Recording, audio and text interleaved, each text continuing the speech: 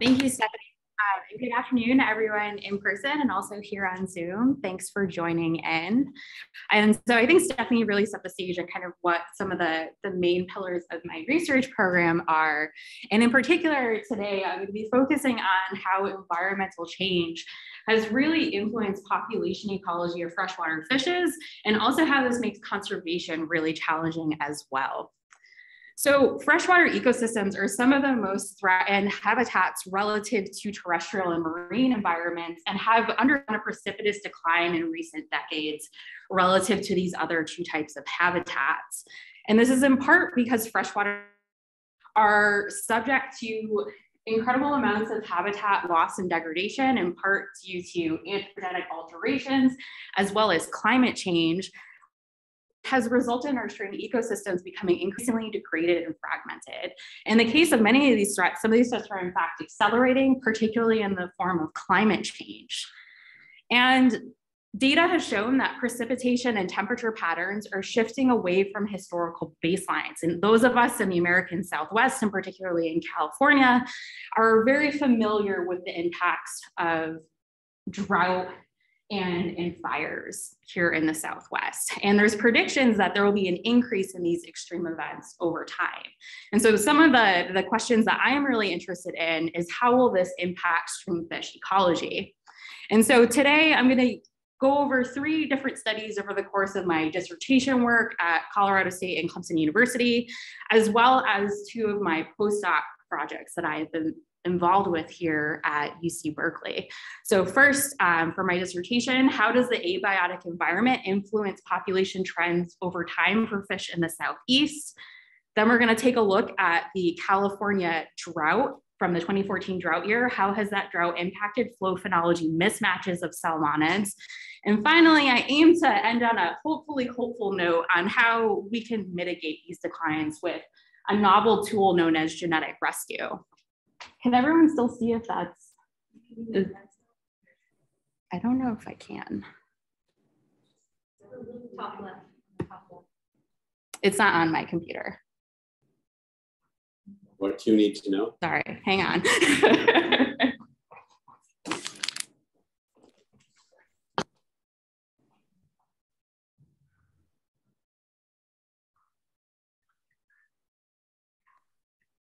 oh. Thank you. Okay, now we're good.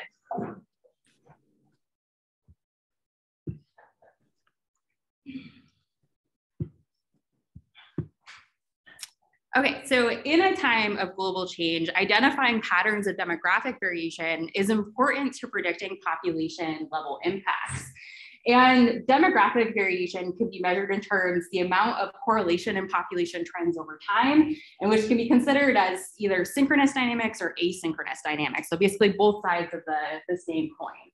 Um, and this can be measured on any type of demographic parameter, whether it's abundance, survival, and these trends, so here's an example of very asynchronous trends over time. And in literature, this can be examined among three different populations or among three different or multiple different species. And inferences about the degree of correlation in a system can help inform the impacts of environmental change, changes in community structure, as well as inform extinction risk.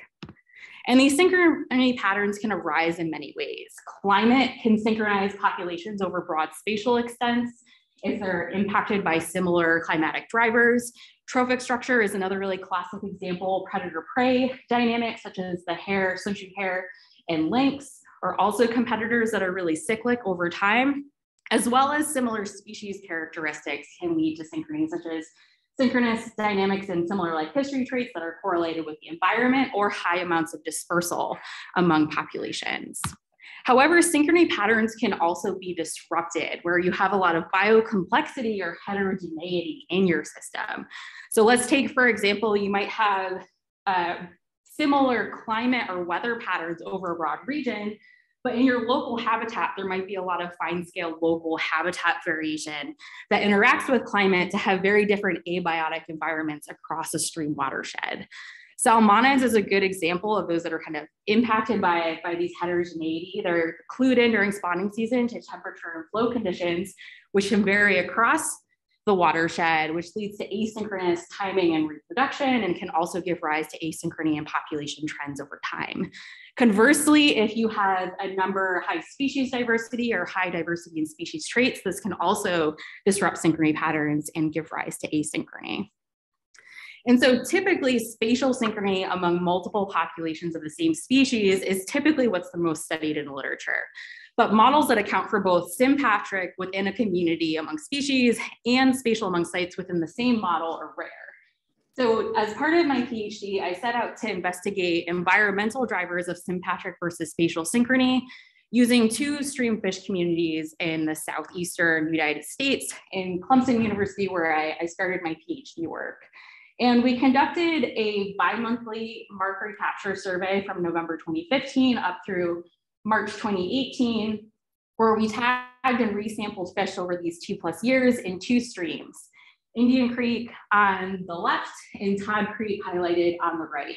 And these are two streams that are similar in size and located within the same watershed, with Indian Creek here up in this top well-forested picture, and then Todd Creek on the bottom picture which has less riparian canopy cover due to be located within a power line corridor. Within these two streams, we tagged three different species, uh, two North American minnow species within the Leuciscidae family, bluehead chub and creek chub, and a sucker species, the striped jumprock. All three of these species can be classified as having cool water thermal, summer thermal requirements. They all inhabit small to medium rivers and also have overlapping and reproductive timing. And we can make some predictions about the magnitude of sympatric versus spatial synchrony within these two streams. Potentially, all species within a community are synchronized as well as across both sites. And then other potential patterns can be varying the amounts of synchrony and asynchrony. And so given that these two sites are, were pretty close together, we predicted that they would probably have higher spatial synchrony. And then depending on the importance of species characteristics, if species characteristics were important to population dynamics, we would be closer to, to scenario one, where there'd be high among species and among site synchrony, or if species characteristics was important, perhaps we would be have within community asynchrony, um, but synchronous across sites given their proximity. And to do to, to estimate the amount of synchrony, I conducted three sets of Cormack Jolly Seber survival models within a Bayesian framework. First, estimating the environmental drivers of survival, and we measured mean water temperature and water level throughout the study, and also conducted additional models to model the magnitude of sympatric and spatial synchrony, and finally, depending on what that supported covariate was, we could then estimate what was the actual contribution to driving synchrony or asynchrony in the system. And for the sake of time, I'm gonna focus on the methods um, for the model for sympatric and spatial synchrony. So in estimating synchrony, I followed methods that are outlined in Lahoz Monfort et al. 2011. And what's shown on the slide right here is the logit statement from the CJS model, where I fit four random effects to characterize the temporal variance over time within these two systems. And each of these four random effects is characterized, it has a, a mean and a variance. And what we're interested are these variance terms on the bottom. So the first random effect just characterizes temporal variance, and then we start to index those variances by species, streams, or unique combinations of all streams and species. And the output from those various terms are then used to calculate an interclass correlation coefficient, which actually will then inform how much synchrony is in the system. So using this formula, if the value is closer to zero, a species is asynchronous with the rest of the community. And then if it's closer to one, it's considered synchronous within the rest of this community. So we're able to estimate six of these values, one for each species in each stream. And then with additional line of evidence, we also follow this up by just calculating Pearson's R correlations of the pairwise species sub-seasonal survival estimates. So first, let's take a look at how temperature impacts survival in this stream. So mean temperature was the most supported abiotic covariate in the system and negatively affected all species within both streams and with some species being more negatively affected relative to others in, in Todd Creek, particularly bluehead chub and creek chub. when we take a look at estimating synchrony within and among these two streams, so just as a reminder, these are here is a table of the ICC values for species in both streams, asynchronous if the ICC is closer to zero and synchronous if it's closer to one. And what we found is that this, they range about 0.5 or higher, indicating moderate to high synchrony in both streams. Todd Creek had an average ICC a little bit higher than Indian Creek, but there appears to be some sympatric synchrony among these species in both streams. We can plot out survival over time in both systems. The ICC values revealed perhaps a little bit more synchrony within the communities in Todd Creek relative to Indian, and one thing that we noticed when we were looking at subseasonal survival for each of these occasions is that there appeared to be this bottleneck period, particularly in Todd Creek within our first summer season, where survival really tanked down, likely due to, to summer water temperatures. As we saw previously, there's a, a pretty strong negative effect of temperature in both these streams. But what we can do next is we can do correlations between these posterior mean estimates of survival in both systems to kind of get other lines of evidence of synchrony or asynchrony. So we first examined sympatric synchrony using the Pearson's R correlation in both streams, where it's just pairwise, all the possible pairwise combinations. And we found kind of differing patterns between the two streams. So there was high sympatric synchrony in Todd relative to Indian Creek. So none of these in Indian Creek there was no significant correlations. Those Pearson R values were really low. And in Todd Creek, they were a lot higher, particularly Bluehead Chub and Creek Chub had an R correlation of 0.93. And all of these were statistically significant comparisons. We can then look at comparing the same species in both sites. So let's say Bluehead Chub in Indian Creek versus Bluehead Chub in Todd Creek. And these were all non-significant correlations and provided further evidence that there was asynchronous survival between these two sites. So what could be accounting for these spatial differences? So recall that Indian Creek, so while these are both very similar in size within the same watershed, Indian Creek, the major difference is that Indian Creek has a well-forested riparian canopy and Todd Creek has more open located within this power line corridor. And we can examine temperature over time for these two streams, Indian Creek in blue and Todd Creek in red. And while for the majority of the study, both those streams track each other really well, where they start to diverge are in summertime. So specifically between May to September in both of these years. In 2016, summer temperatures were about two degrees warmer. And then in summer 2017, one to 1.5 degrees C warmer in Todd Creek. And while that doesn't seem too, too large of a difference, this really put these fish, particularly in Todd Creek, at their uppermost thermal limit. Um, recall it this assemblage is a cool water species. And our additional analysis found that temperature really accounted for a lot of the variance in synchrony for, for these systems as well. So what we think is happening is that both these streams are ex um, experiencing the same weather conditions, but that forested canopy in Indian Creek is really providing buffering against that increased warming and temperature relative to Todd Creek, which this power line corridor really follows right along uh, the stream. And so our synchrony patterns probably more closely followed scenario two, where we had somewhat moderate to high synchrony, maybe less so in, in Indian Creek relative to Todd, but there was higher asynchronous dynamics between the two sites. And identifying these key environmental drivers of low survival is important for conservation. I mentioned before that these stressful events are occurring more frequently and they can increase in duration. And they have the potential, at least shown in, in this example, to synchronize whole species community and lower survival. And for particular species like these, which are very short-lived, if these become more frequent, they can start to have negative implications for their population dynamics. Accurately characterizing spatial heterogeneity as well has also has really important for implications for monitoring designs, accurately covering more sites to be able to characterize how dynamics could be impacting different communities differently.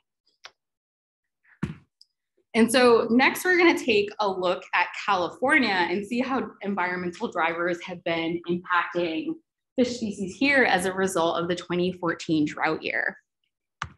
And so as I mentioned before, there's been increases in extreme events such as drought and fires. Um, and I do want to pause for a moment. This is a study that's led by my supervisor, Stephanie Carlson. And when Stephanie gave an early version of this talk at the a previous um, Society of Freshwater Science meeting, that's when I actually first met Stephanie when we started talking about developing proposals and such. And so once I was brought on, I started diving through a lot of the data that, that we're going to present today. So kind of full circle. We're almost ready to submit it. So, um, so California's 2014 drought year is one of the worst experienced in the region. And meteorological drought has really important consequences for aquatic habitats. So in, for those of you that are familiar or maybe not familiar with kind of our climate patterns, we're in a Mediterranean climate here in California. And so our rainy season occurs from about November up through May, although it feels like it's been getting truncated year after year. And the amount of rain that we get can be really variable. And we can see kind of this variation in patterns in our hydrographs. So this is a plot of discharge or the volume of water moving past a specific point over time. And the, the lighter gray regions are earlier historic years up through the 2011 water year. And 2012 to 2016 represents that kind of mega drought period. And so one of the consequences of this drought is we can see that in these darkened lines, the magnitude of those peak flows are a lot lower relative to historic years. It also can impact the timing of when our winter rains actually occur. So here I have those drought years taken out and in red highlighted is the, the timing of the winter storms for 2014, which arrived in February and much, much later relative to other years. For fish species, this is important because spawn timing is often cued in by abiotic variables like flow. And spawn timing can differ a lot among species. Chinook salmon, which has kind of a, a short spawning window between November and January, coho, which takes advantage of winter rains December through February, and steelhead December up until early spring with the, the longest spawning window. So we asked this question did the late storms in 2013 14 lead to a flow phenology mismatch? So, since it was later than when their breeding window occurred, did this negatively impact these fish species? And we brought data together from a, a number of really fantastic long-term monitoring programs that we have here in California for a few different rivers. And we asked two questions. So first, did late flows affect adult return timing to their spawning grounds? And two, if that is the case, what were the consequences of this late arrival to spawning grounds? So we'll first take a look at timing data from the Russian River, that's just a little bit north of us in Sonoma County, and then the South Fork Eel River farther up to the north in Northern California. So in the Russian River, California Sea Grant, um, and also has been led by Mariska Obedzinski, who is a PhD student in our lab, has been running this really long-term monitoring program for nearly 20 years in the Russian River for the conservation of coho salmon. And they have a fantastic pit tag antenna array system, not only on the main stem Russian River, but also in these key four monitored watersheds. And so they have a really good idea of when coho arrive to the main stem and then when they distribute to tributaries to spawn. So in a typical year, they're detected on the main stem antennas around mid-October to early November. And then once the winter rains come, they reconnect these tributaries to the main stem, allowing fish to then move into the tributaries and spawn. And so they'll hold in the main stem and then a few weeks later be able to move into the tributaries triggered by those rain events. And so now we'll look at the, the 2014 year, how it overlaps with a typical year's data. And so gray, these gray density plots represent adult return timing for non-2013, 14 drought year. And then the color density plots represent what happened in that winter. So in terms of when they arrived to the main stem, that distribution was pretty similar still. It overlapped with main stem. But if we take a look at the, the tributaries, we see that it shifted far to the right. So coho weren't able to access these tributaries until nearly like greater than a month later of when they should have been accessing. And so they were just holding in the main stem until those late storms could reconnect and give them access to these tributary habitats. And Mariska's team got some pictures of the fish, then they were able to actually make it into the stream. And so this is an adult spawning coho salmon. They're usually in pretty rough shape after they make their big journey, but they were in particularly bad shape after being stuck in the main stem. So we're gonna take a look a little later on how successful they were spawning in the system. If we take a look oops, at timing in the South Fork Eel River, which is a little bit farther to the north, we saw similar impacts in the system. Um, and we see kind of increasing overlap as we move to the right. So there's a little bit of variation of species like history traits coming into play here, where Chinook salmon, which has the shortest breeding window, but also the earliest, is shifted the farthest up and has no overlap with when they typically spawn. Coho salmon in the South Fork Eel River shows a similar pattern to the Russian River. And then steelhead was perhaps maybe the most minimally affected of these three species because they have this really wide breeding window, but you can tell it's still shifted up a few weeks. So we've seen that adult arrival to these tributaries was, was negatively impacted. They couldn't access the habitats when at the same time that they usually do. So what were the consequences of these late arrival? And we have data from a number of different systems of production data, uh, spatial distribution within the river networks, juvenile counts, as well as adult spawner counts. And for the sake of time today, I'm only gonna cover um, some data from a few of these systems. So if we take a look at coho salmon in the Russian River again, and these are juvenile count surveys throughout the watershed that they do each year. And we can compare an average over non 2013 14 years to the drought year. And there was a contraction in the amount of habitat they were able to actually access in that drought winter, where a number of tributaries that used to have fish had zero or close to only a handful of juvenile individuals. So it's clear that this late timing had negative impacts on juvenile production. And so in combination of late adult ar ar arrivals, reduced spawning distribution, we have histograms um, or box plots here on the right of juvenile coho surveys, um, average kind of the distribution of counts across all non-drought years compared to 2013-14. And so some systems had complete cohort failure where there was detection of zero juveniles. And in other systems, maybe there some were detected, but there was far fewer than was typically found in this system.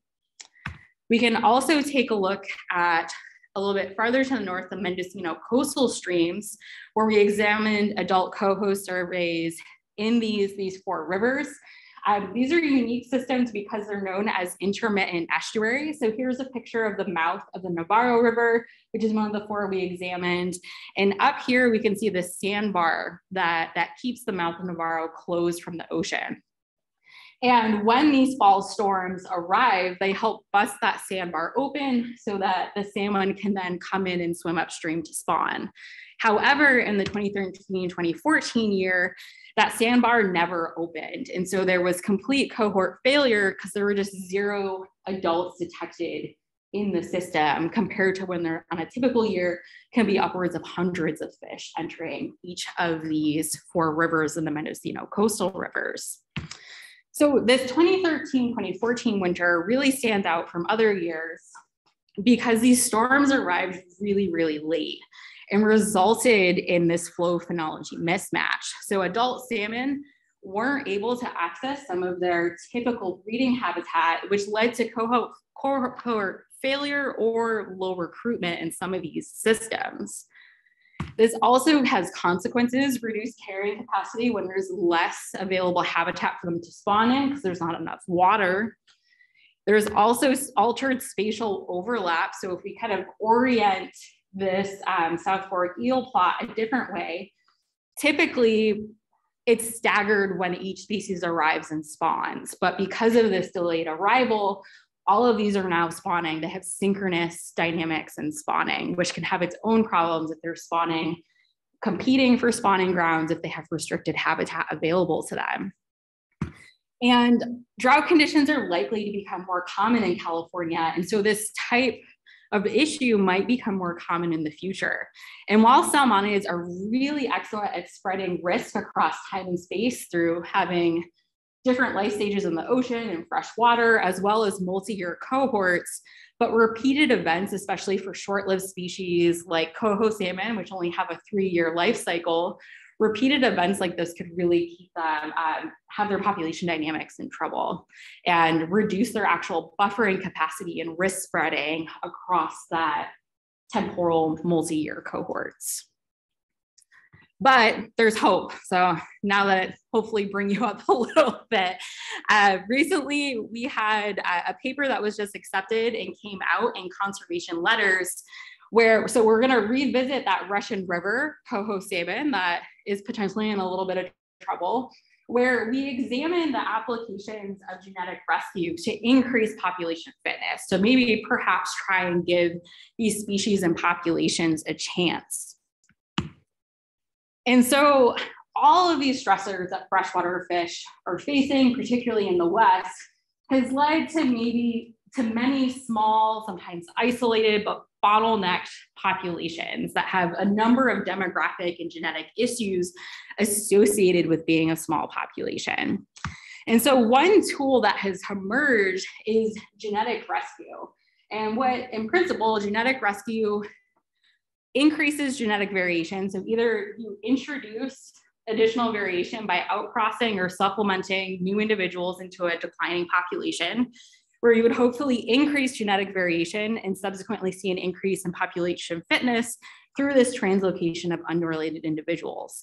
And while genetic is in the name, a lot of the evidence for successful genetic rescue comes from demographic data. So with kind of weak evidence being an increase in genetic diversity, which you would expect if you're introducing additional individuals, from increase in fitness metrics like survival, and kind of some of the strongest evidence of increase in population growth rate over time. And, but it's not implemented, while it's known to be an important and valuable tool, there's a lot of hesitancy in implementing this tool, particularly for um, endangered and imperiled species. And this has to do a lot with balancing the trade-offs and risks between something known as inbreeding depression and outbreeding depression. So uh, inbreeding depression, it's kind of the risk associated with being a small population. So here we have a kind of simulated data set with genetic diversity on the y-axis and the number of generations on the x-axis. And what this shows is that with a smaller effective population size, you lose genetic diversity more rapidly. And genetic diversity is considered having higher amounts of genetic diversity is considered important because hopefully it'll give a population the diversity it needs to persist in the, the face of change.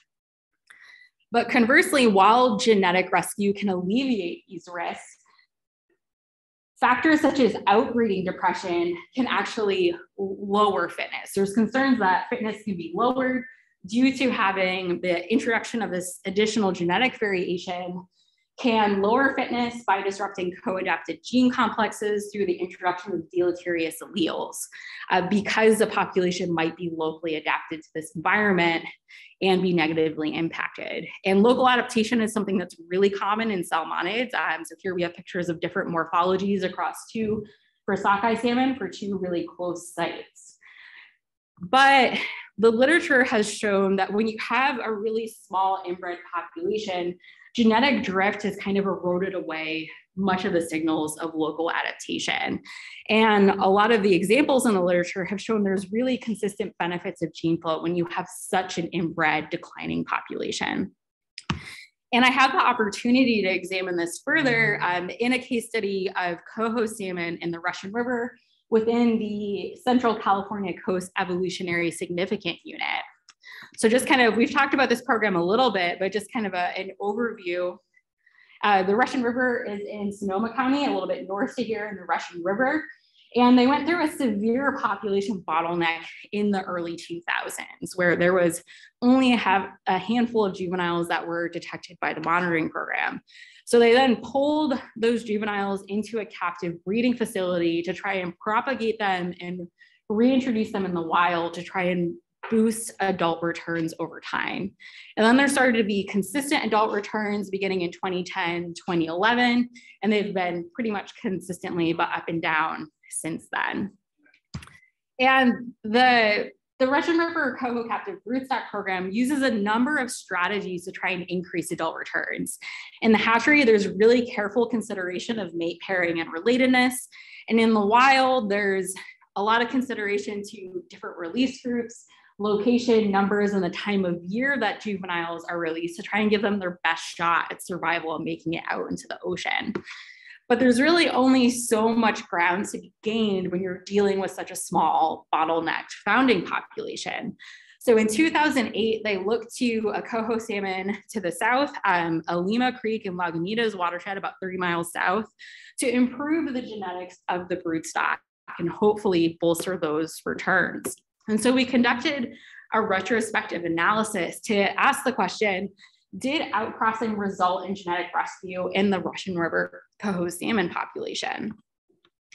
And we investigated this using three different types of data. So we first looked at the genetics of the adult broodstock over time, where we predicted that post outcrossing, we should see relatedness decrease.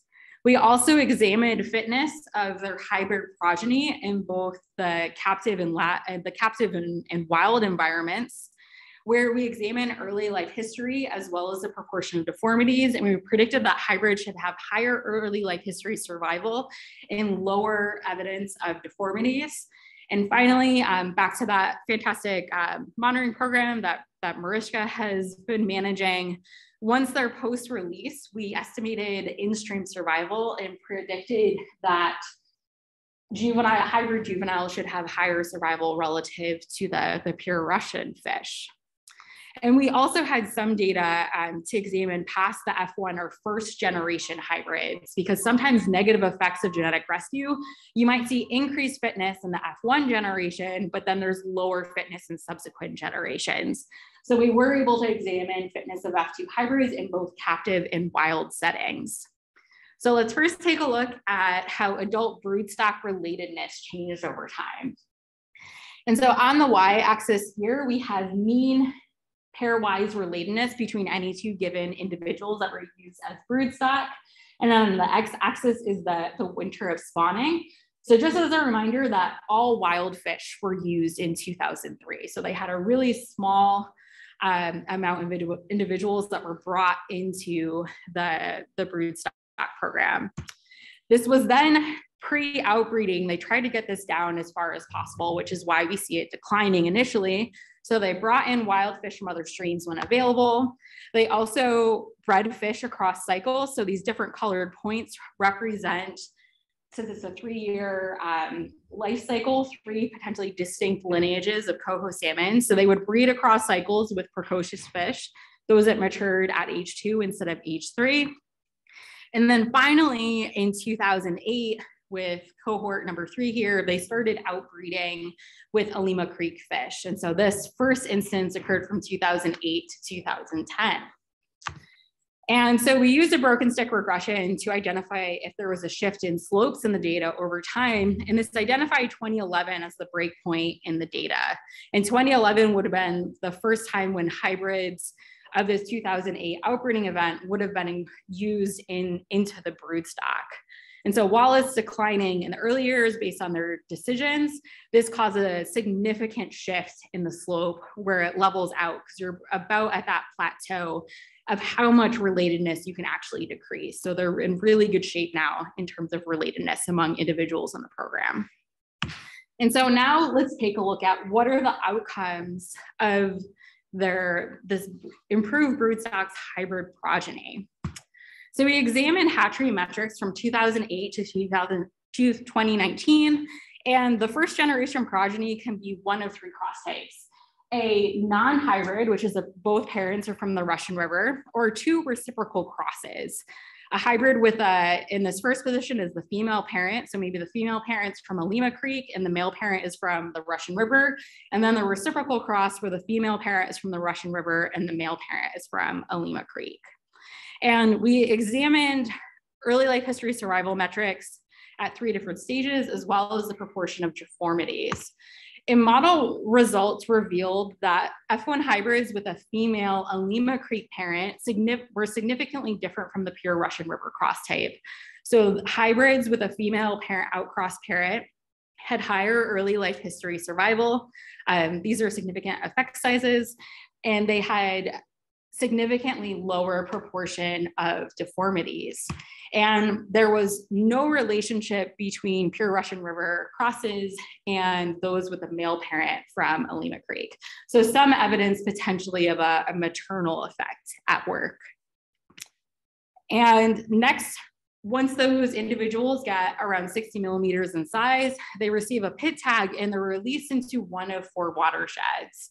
And Mill Creek had the longest kind of data set to examine survival of these different crosses from 2009 to 2013. And then comparable arrays were installed in 2013. So we have one year we're able to look at spatial differences in survival. And so we asked, does survival vary by cross type once they're released into the wild? And we had a data set for spring release fish and fall release fish. They get released at different times of the year. Um, Spring release fish will spend an entire summer in the Russian River before out migrating, whereas fall release, they get released when they're a little bit older and they miss that summer period entirely, try to give them a, a boost in, in survival. And then finally, a spatial analysis for those four sites in 2013. And I'm just gonna focus on one in three for today. So here's our output from our survival over time in Mill Creek. On the y-axis, we have our survival estimate, and on the x-axis are our three crosses. And what we found is that similar to the, the captive results is that hybrids with an Olema Creek female parent had higher survival than both the reciprocal cross and pure Russian river fish.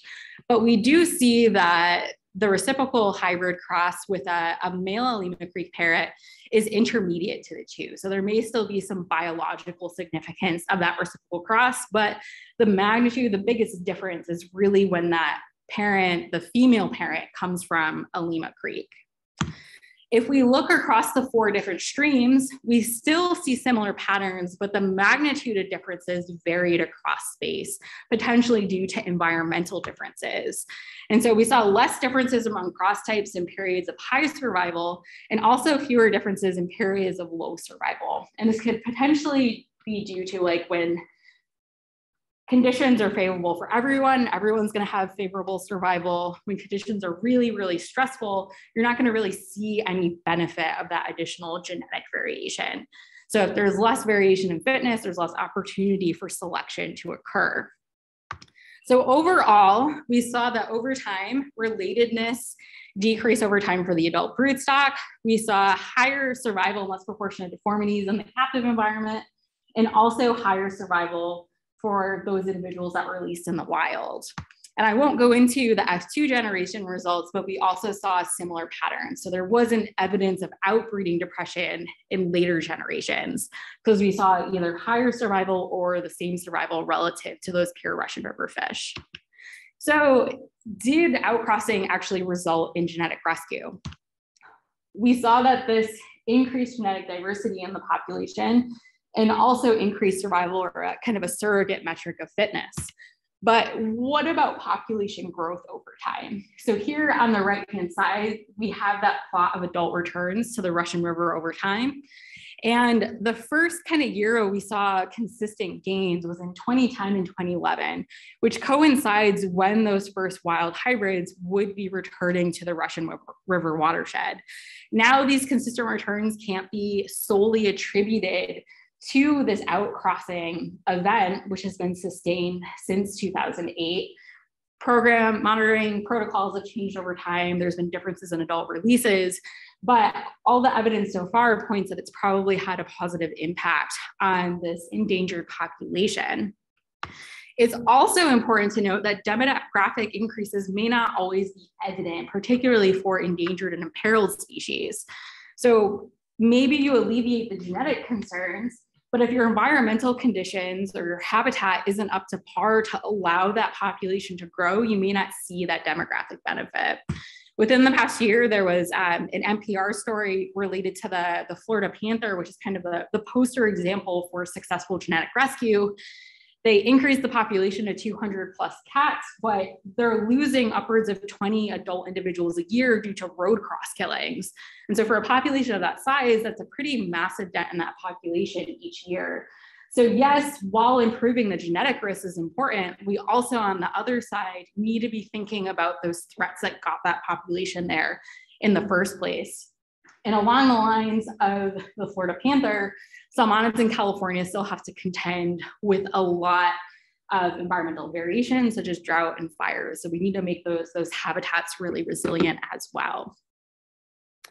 And so with that, that's uh, the end of my presentation. Um, and lots of thanks to the number of university partners that I work with on this project, as well as state and federal agencies, um, as, and special thanks to the, the Berkeley Freshwater Lab. This is a very outdated pre-pandemic photo. We need a new one, um, as well as the Garza Lab down at UCSC and NOAA in the UC PPFP program that funded these, these first projects. And I'd be happy to take any questions from the audience. Thank you.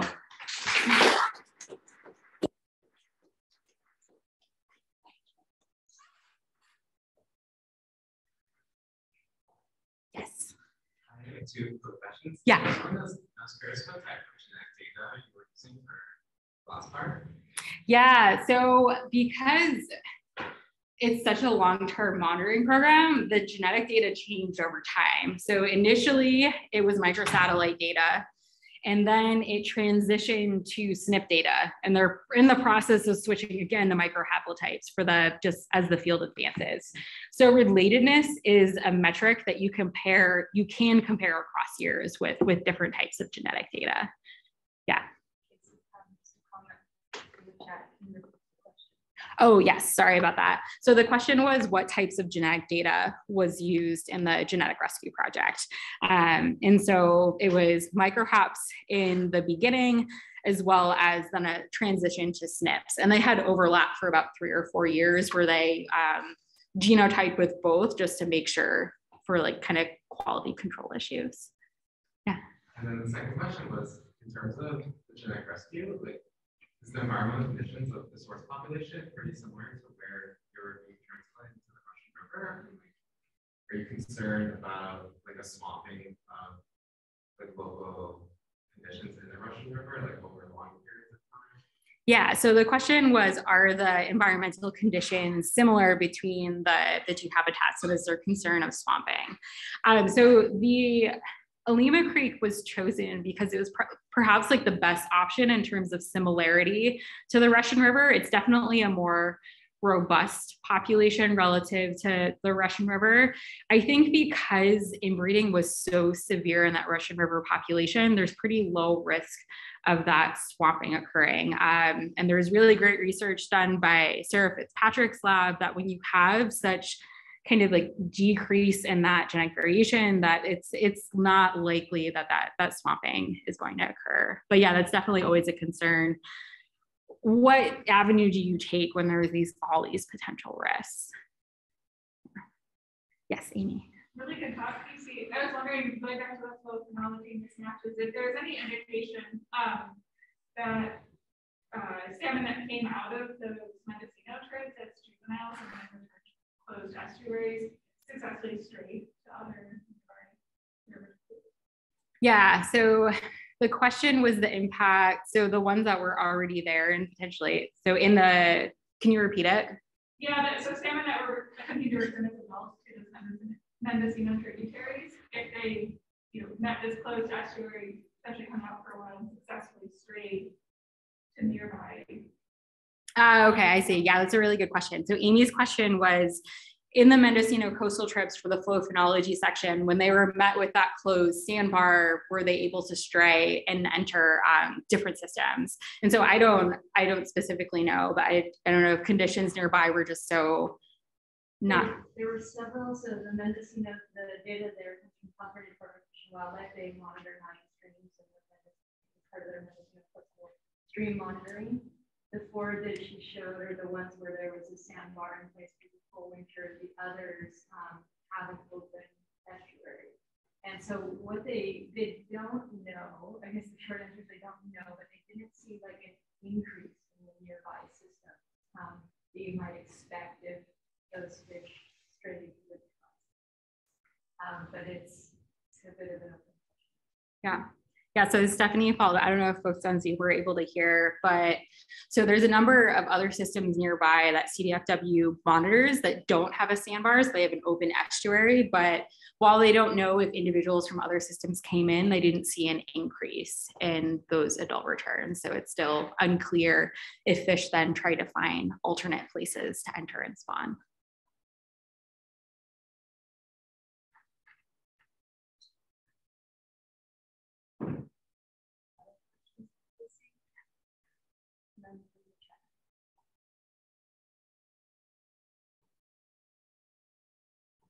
Great, well, thank you.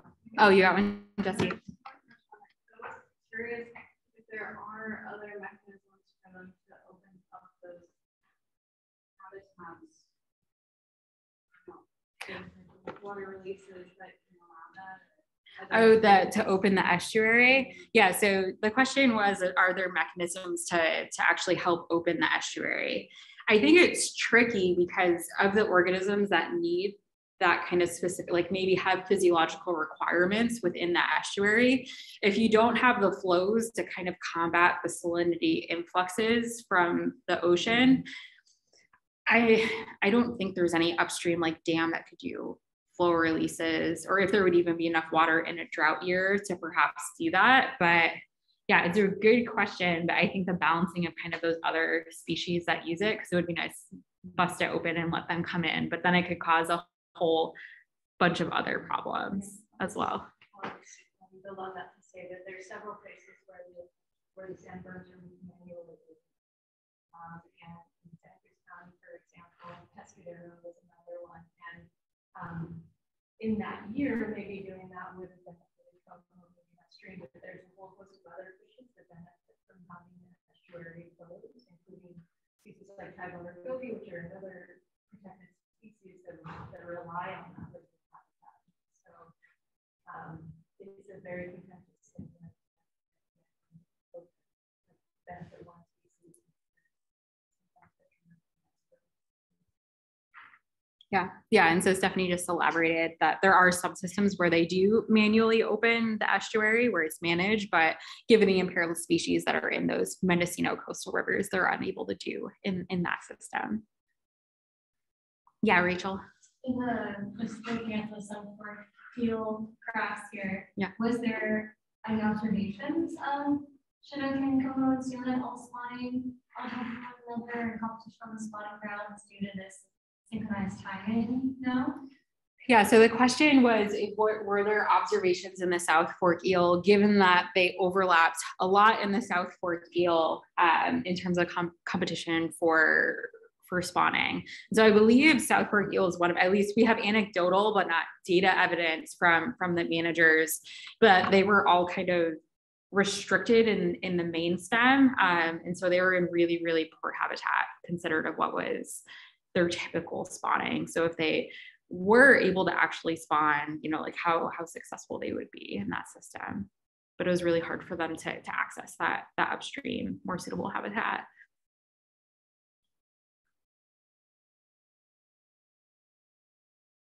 Great, thank you, everyone.